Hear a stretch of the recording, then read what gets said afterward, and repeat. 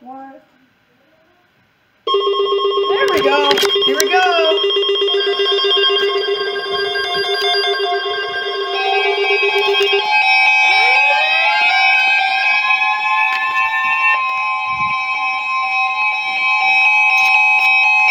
The National Weather Service has issued Tornado Watch number 6, effective until 7 a.m. Sunday. This watch includes the following counties in Florida,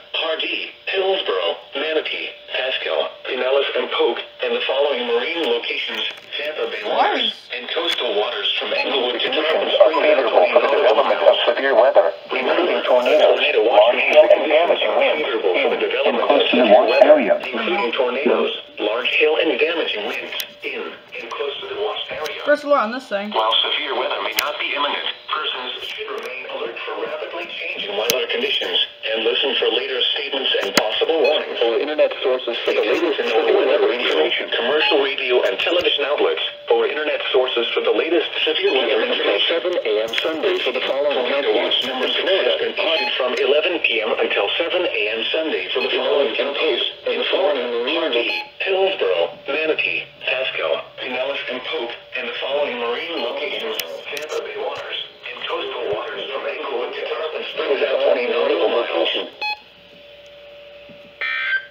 15 to nautical miles.